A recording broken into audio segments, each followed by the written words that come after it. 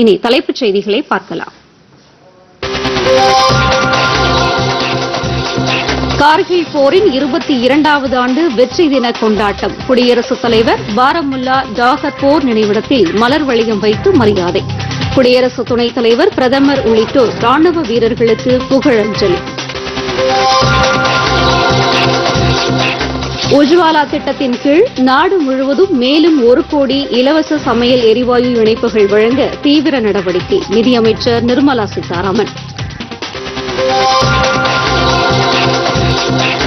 அரசு பேருந்துகளின் பராமரிப்பை மேம்படுத்தி பொதுமக்களுக்கு வசதிகளை அதிகரிக்க வேண்டும். போக்குவரத்து துறை ஆய்வுக் கூட்டத்தில் முதலமைச்சர் மு க ஸ்டாலின் அறிவுறுத்தல்.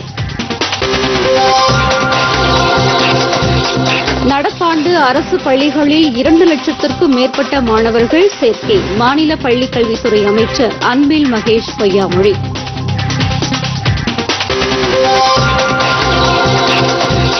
தமிழகத்திற்கு தேவையான தடுப்பூசிகளை வழங்க வேண்டும். பிரதமர் நரேந்திர மோடியிடம் எடப்பாடி பழனிசாமி ஓ பன்னீர்செல்வம் நேரில் வலியுறுத்தல்.